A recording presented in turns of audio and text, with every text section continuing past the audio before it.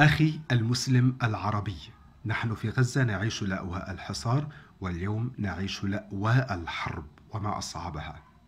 ربما أنت كغيرك من الملايين يرغبون لو أنهم يعيشون بيننا الآن يقاتلون معنا ويدافعون عنا. بإمكانك أن تكون معنا من خلال ثلاثة أمور. أول شيء أن تدعو الله عز وجل لنا أن يربط على قلوبنا وأن يحقن دماءنا.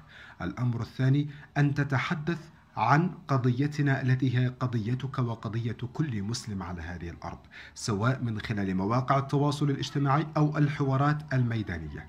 الأمر الثالث والأهم أيضا أن تدعم إخوانك المتضررين من خلال الدعم المادي وذلك أيضا من خلال الصناديق التي تنشأ لهذا الغرض. بتكون تكون بذلك أنت واقف معنا وبيننا والمسلم أخو المسلم.